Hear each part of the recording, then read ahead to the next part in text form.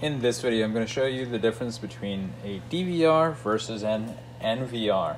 So I have here two four channel units sitting on our testing desk and let's look at the DVR first. On the back you'll notice it has these round BNC connectors. These are called coax BNC connectors or short form is just BNC. And let's compare an NVR. On the back it has these RJ45 ports that are PoE enabled Ethernet ports. I'm going to go with the easiest first, and as to why a lot of people like PoE equipment these days. So I have a one camera setup. There's a gray cable here, as you can see. It's connected to a white pigtail right here. The Cable goes directly from the back of the NVR into the camera, and that's it. That's all you need to connect a camera. And then on the back of the NVR, you have a power connection for the NVR. This takes juice from your 110, puts it into the NVR, and the NVR then energizes your camera and communicates with data as well, all just over one cable. This is PoE technology, power over Ethernet.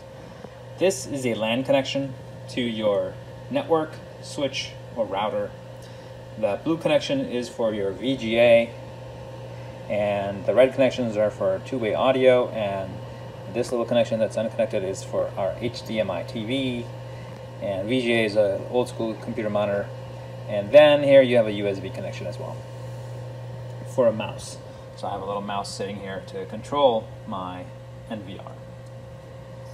So keep this in mind, just all one cable. Now let's go look at a DVR.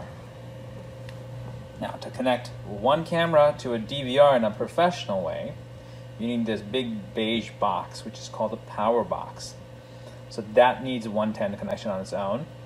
And then the DVR has a power connection of its own too. So you need two 110 connections to provide power to the power box and the second one to the DVR. The power box connects to the camera through a cable that's called a Siamese cable. This is a Siamese coax cable. Of course, this length is about 25 feet. The other one was just a small 6 inch pigtail that I was using on my uh, IP camera, but here, the Siamese cable has two connections on each end. The red one's power, the yellow one's video. Alright? So, here's my connection. Let's explain how this works. This power connection right here sends power through the wire and out the other end into this red wire and into my camera. I hope you're following that as I'm traveling around the length of the wire. And then this yellow wire goes through the reel, comes back in, into the camera right there. So the camera has two connections, a BNC for video. Again, that's what the BNC connection looks like. BNC for video, 12 volt DC jack for power. Sends it through the cable and comes out on the other end and connects into the DVR. And power to the camera is supplied from the power box right next to the DVR. So obviously you need a lot more. There's one accessory that you need, the power box, to power the coax camera. Some people use what's called a small power adapter. I'll show you that here. This is what a 12 volt power supply can look like. There's a small one on the left hand side that's a power adapter for just one camera, and a larger one that says 12 volt, like 4 amps or 5 amps for multiple cameras, like 4 or 5 cameras. So when we compare a DVR versus an NVR, which one would you like to have? While everyone would go for a PoE system with an NVR and an IP camera or a PoE camera on there, the situation or the choice is not always very clear. It all depends on whether you have existing cabling, how long are your runs? How much do you want to spend? Etc. But one of the most common myths with IP camera is that people believe they need an internet connection for the cameras to work. While that is true for cloud cameras you get from Ring or Arlo, etc., these professional cameras do not. This camera is actually producing video into the NVR without the need for an internet connection. And I'll show you that in just a second. The same thing is happening here in this coax camera. it is providing a video connection to the DVR without needing an internet connection. I'll show you, that, show you that in the next half of the video. So the most common myth being that you need an internet connection on an NVR. Let's explore that first with a DVR. I have a DVR, coax cable Siamese, power box connected to my coax BNC camera. I've got video pulled up on my monitor from it. No internet connection needed. I'm waving my hand and you can see it being waved in the back of the video. Just to show you I'm not playing any magic tricks here. So everybody thinks that you need a coax camera to be able to do that. Well, I'm going to show you something.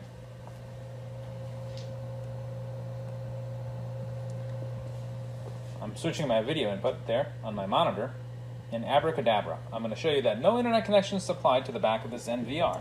Nothing is connected. There are no blinking lights, no internet connection, and voila, I got video right there from my camera. Let's bring this up in full screen mode.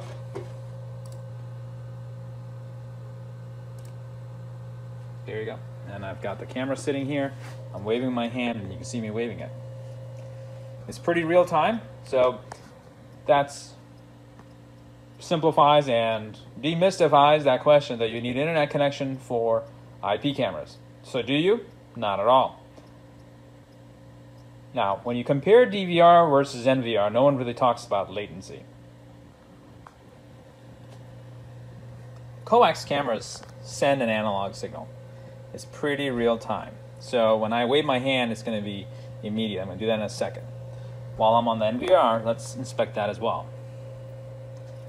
I'm waving my hand right now in front of it. There is a delay. Let's try that again. See that? There's about a few milliseconds. Now.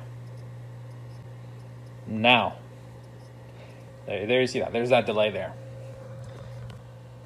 Now switch my screen to my DVR. I'm going to show you that again. See that? It's instant.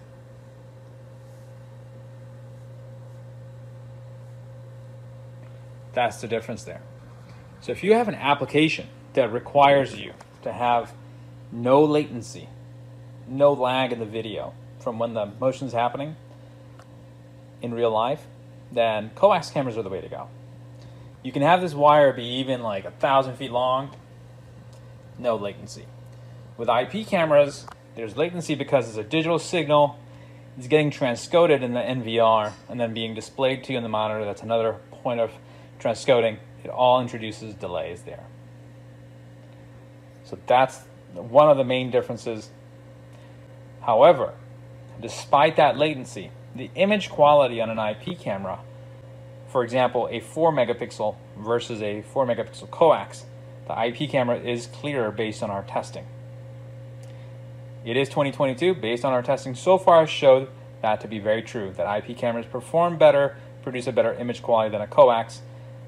Coax cameras always have a little bit more encoding issues there. They have some artifacts in their video. But coax cameras tend to run cheaper. The DVRs are cheaper, and um, their cable, outdoor rated coax, is actually cheaper as well.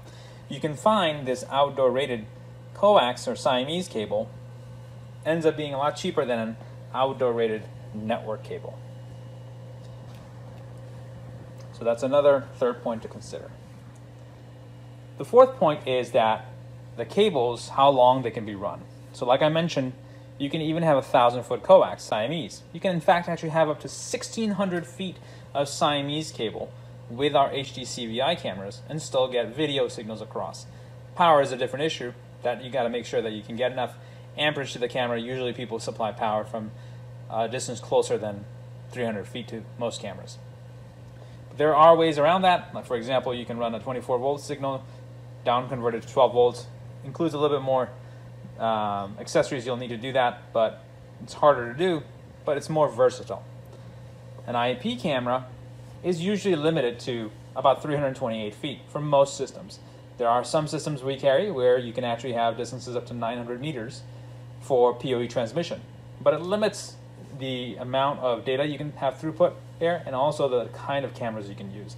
For example, if you're trying to send a video and data signal and power signal to a pan tilt zoom camera, they usually require about 20 watts of power. Trying to send that 900 meters over a thin Cat 5e cable or Cat 6 cable, not going to happen.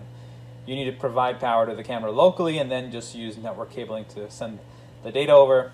It's really tricky. So PoE power transmission is really only good for fixed cameras like this. These are both called fixed cameras because they're small little teeny tiny cameras with fixed lenses. They don't move around or anything like that. They'll work on those 900 meter, uh, 900 meter extended PoE systems. Analog cameras have an advantage over PoE cameras. You can use, for example, high wattage pan tilt zoom cameras and have them be sitting about 1,000 feet away, provide power via 24 volts AC or local 110 power, or use a thick gauge cable like a 14 gauge or 12 gauge to run the 24 volts AC to the camera, and then also get that video signal through the Siamese as well. So again, that's another difference. Hopefully, this gives you some pertinent information to make a good decision on which kind of system you'd like to buy. If your system is really only for a home and you're doing a whole new system, no existing wiring, or you have a small business, and your distances are not more than 328 feet, go with a PoE NVR. If you're doing this for a large facility, large warehouse, storage facility, etc., you may want to consider a BNC system. If you have existing cabling, a lot of coax everywhere, there's no reason to pay someone to redo all that cabling. Just use a coax system. It's good enough. Hopefully this gives you good insight into what kind of system you should be buying, whether a BNC-based DVR system or a Cat5 PoE-based NVR system. Thanks for watching. If you're watching on YouTube, don't forget to like, comment, and subscribe.